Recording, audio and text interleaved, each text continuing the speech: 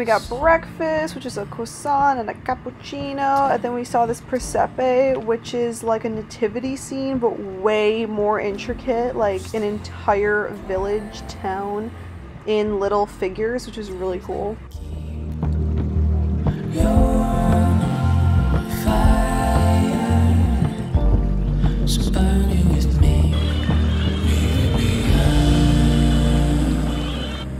This town called Scicli, and it was really, really cute, like a movie, but there was no tourist. Non è che non abbiamo posto dove andare perché dentro le stanze non.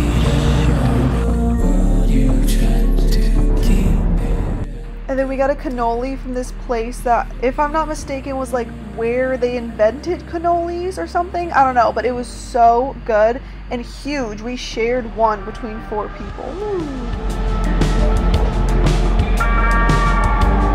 Ooh! Ooh!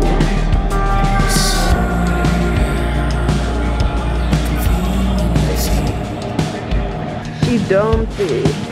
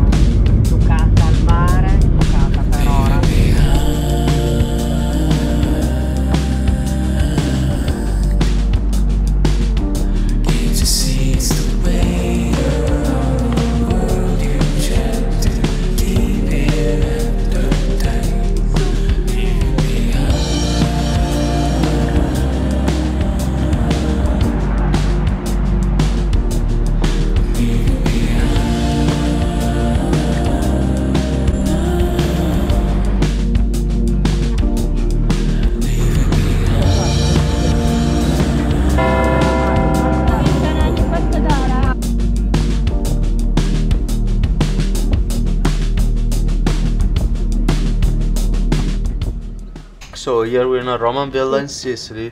There's a lot of representation of the Roman arts as most of the things are still intact from the past.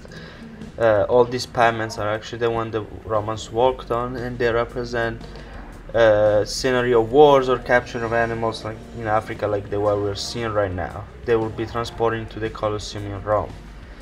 There's some sculpture of gods or just normal people and then this representation of women playing the Olympic Games as they are doing a lot of activities like this. Until next time, ciao.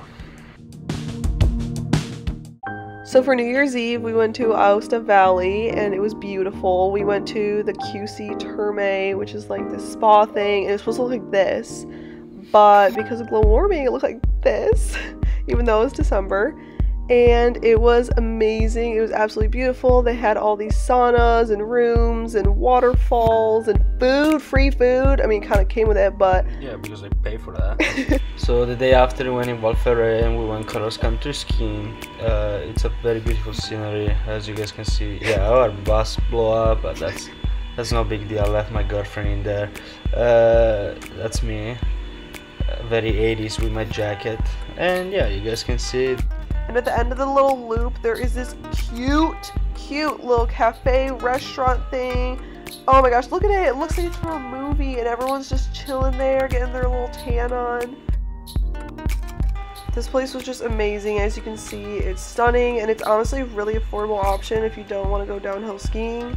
15 out of 10 recommend the ski and the QC Terme. Ciao Italia, sei bella. Ciao, Italy. We love you.